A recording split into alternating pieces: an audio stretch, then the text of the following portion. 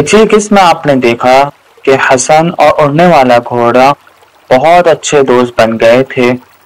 हर हफ़्ते की रात हसन उड़ने वाले घोड़े पर बैठकर पूरे जंगल की सैर करता था। एक रात हसन ने घोड़े से पूछा, तुम्हारा नाम क्या है?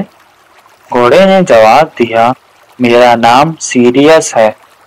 सबसे चमकदार सितारे को कहते हैं, अगले हफ़्ते जब हसन दरिया के किनारे सीरियस का इंतज़ार कर रहा था, सीरियस नहीं आया। हसन इंतज़ार करता रहा, यहाँ तक कि वो सो गया।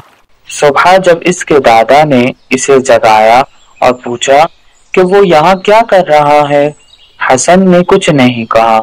हसन बहुत उदास हो गया। वो रात को अच्छी तरह नहीं सो सकता था। उसको रात को अच्छी तरह नींद भी नहीं आ रही थी। इसे सीरियस की बहुत याद आती थी। एक दिन जब हसन सो रहा था, इसने अपने ख्वाब में सीरियस को देखा। सीरियस ने बताया कि एक चुड़ैल ने जादू करके इसे गार में कैद कर दिया है। सीरियस ने हसन से मदद की दरख्वास्त की ताकि वो इसे कैद से आज़ाद करा सके। सीरियस ने बताया कि गार जंगल के अंदर एक पहाड़ के करीब है। जब हसन सुबह को उठा तो बहुत परेशान था। हसन ने अपने दादा से पूछा कि वो चुड़ैल के जादू को कैसे तोड़ सकते हैं। इसके दादा ने कहा, अगर वो चुड़ैल को जला दें तो जादू टूट जाएगा। हसन ने जंगल में जाने के लिए सब कुछ तैयार कर लिया।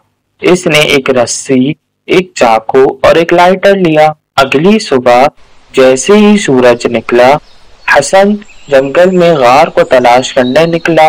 शाम तक हसन ने गार तलाश कर लिया। जब हसन गार में दाखिल हुआ, इसने देखा कि चुड़ैल ने सीरियस को कैद किया हुआ है और जादू कर रही है। हसन ने चुड़ैल को पुकारा। चुड़ैल ने हसन का पीछा शुरू कर दिया। हसन तेज़ी से गार से बाहर भागकर झाड़ियों में छुप गया। जब चुड़ैल हसन को तलाश कर रही थी तो इसका पाँव रस्सी में उलझ गया। हसन ने फ़ौरन कुछ झाड़ियाँ चुड़ैल पर फेंक कर आग लगा दी। चुड़ैल वहीं जलकर मर गई और इसका जादू टूट गया। हसन ने सीरियस को कैद से आज़ाद करा दिया? फिर हसन सीरियस पर बैठा और वो गाँव की तरफ़ रवाना हो गए।